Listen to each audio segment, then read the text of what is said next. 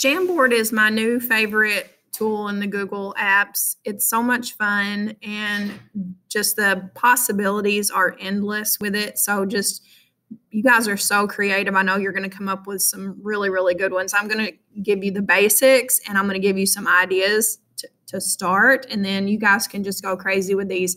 So, Jamboard is an interactive whiteboard.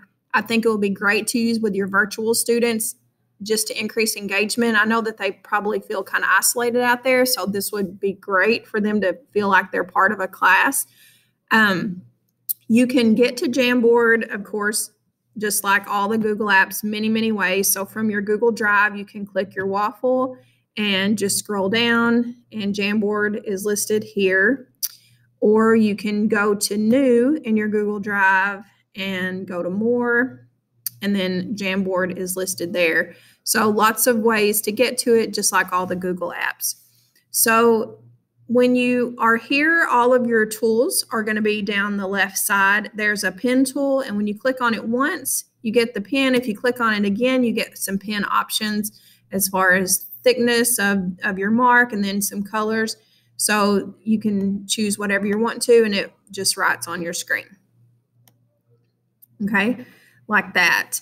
Um, you have an eraser tool that you can go through and erase if you need to. This selection tool, the, the best way I can describe it is it it gets you off of the pen tool. So if you get stuck on the pen tool and you just keep making marks everywhere, just click that selection tool and then your cursor just becomes a cursor again. The sticky note's one of the most popular tools on here. You can choose the color of it. It's a great way for kids to, you know, put their ideas up there. It's anonymous, so kids, you know, can put it up there with confidence. No one knows where it came from. Um, they can put anything they want to and then save it and it just puts it into a sticky note that is movable around the screen. You can make it bigger. Um, you can edit it, delete it. You can change the order, like move it behind something. But you can add all kinds of sticky notes in different colors all around your board. And then just move them around. Um, another one is a picture tool. So you can add an image. You get lots of options here. You can upload an image. You can get one from your camera. You can do, this was probably a most popular one, do a Google image search. You can get a picture from your drive or from your Google Photos. Um, you can add shapes. So if you just need them to add a circle for some reason, there that is. You've got some color options right here. You can change the border color and the fill color. And then this is a laser pointer. It doesn't leave a mark. It just circles for a second. So you just circle and then it slowly fades away. So if you need to draw the student's attention to some particular place on your Jamboard, you can use the laser pointer to do that. And it just dissipates after a little bit. As far as navigating through Jamboard, this is going to be your navigation center right here at the top. So you can see that I have nine jams in this Jamboard. And if you click this little button on the bottom, it expands this frame bar and you can see it. It kind of looks like Google Slides the way it's organized. And you can drag and drop and reorganize these. So if you decide you want this one to be at the front, you just move it like that. And you can reorganize.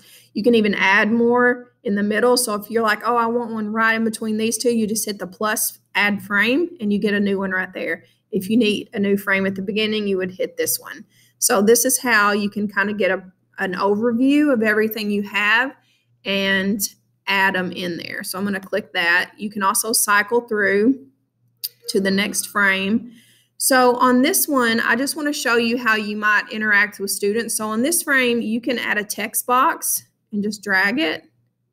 And you can type an instruction to them. So with an emoji picture, tell me how you are oops, feeling today. And then you can just leave that on there. And then the kids can go to the picture, add image, go to a Google search, and do um, happy emoji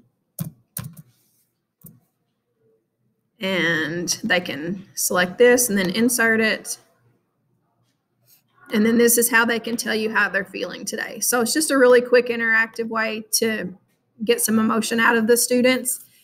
Um, one thing to kind of be aware of, and I'll show you this later, this clear frame button is up for grabs for anybody.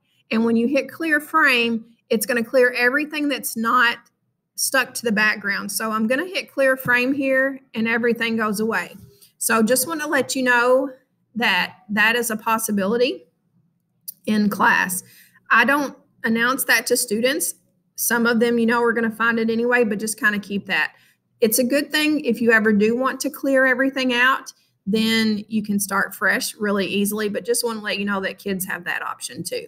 So I'm going to go to the next frame. I've set this as my background, and I recommend that for anything that you don't want to disappear suddenly, make it the background. So you might use this, and you know, a, teacher might say, okay, put a circle over, I don't know, one of the capitals of Europe during World War II. So you could use this tool and use this circle tool. And I see London here, so I'm going to draw my circle over London. And you can even make it transparent. So you can still see London through it and you can see that I've circled it.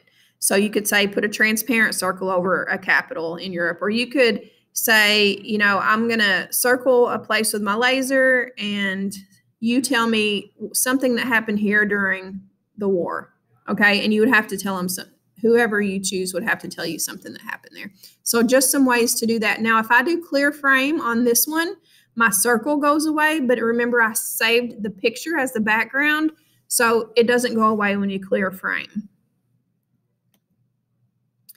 This one I have set my background to a y-axis so you could have students use the pen tool and they could actually graph for you on here if you give them a problem and have them graph or something. I'm not going to pretend to be able to do math, but anyway, um, you can use that as your background. And again, clear frame, super easy to restart if you mess up or anything. I really like this one. If you pose a question, you know, we don't, we can't have students grouping together in rooms anymore right now. So this is a kind of a good way. You pose a question and then students somehow indicate whether they agree, disagree. So you can use, you know, just a check mark feature somewhere. Like if you disagree, you can put your check mark there, or you can use um, just, you know, put a symbol somewhere showing you agree or disagree. So I really like this just to kind of get a poll of the class on an issue. Oh, I love Connect Four. I made this uh, template and I did play it with students earlier this week and they just loved it. So you have them take turns playing Connect Four. They get really competitive and I had them playing as a whole class, and I broke the class up. Half of the team were the black checkers, half of the class were red checkers, and then each student took a turn getting to play. So it was really fun. So you can do obviously educational stuff, but you can also have fun and take a break every now and then and do something like this. Um, there are some backgrounds that are templates, and if you do set background, there's just the blue dots you could use for all sorts of things. There's the lined paper. There's a larger grid, uh, some different ones. I usually use this where you select your image. So again, you have the, all those image selections. Google image search. If you create one yourself, you can just upload it. You can drag a file there. So that's where I usually set all of my backgrounds. And then again, they can't be removed if you hit clear frame.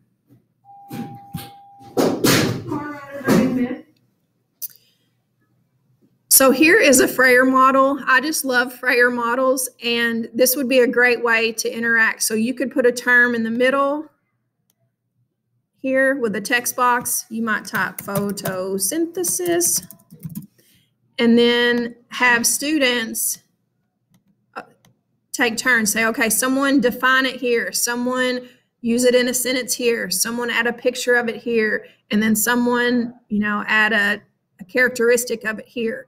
And you could have all of the tools used once. You could have someone add a post it to define it. You could have someone add a picture, you know, so all different kinds of things. And then once you've had so many participate in this one, you can just clear the frame and add your next word and you could keep doing this and have lots of kids participating and everybody kind of doing something different. So again, the possibilities are endless and you guys just get creative with it with what you're using.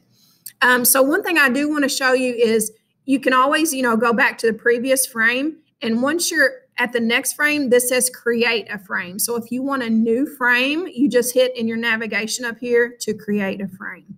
So I cannot wait to see what you all come up with. I know it's going to be some good stuff. If you have any questions, just let me know. But have fun with it. Try it out.